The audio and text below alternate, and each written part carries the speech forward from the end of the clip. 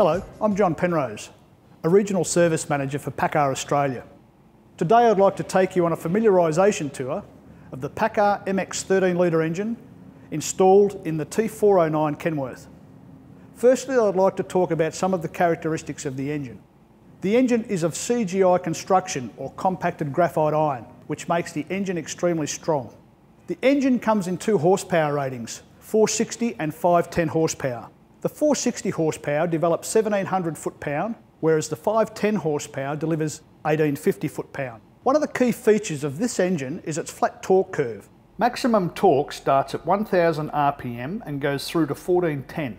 Therefore, when ordering the PACCAR MX engine in the Kenworth product, two things need to be taken into consideration. One is tyre size and the other is drive axle ratio.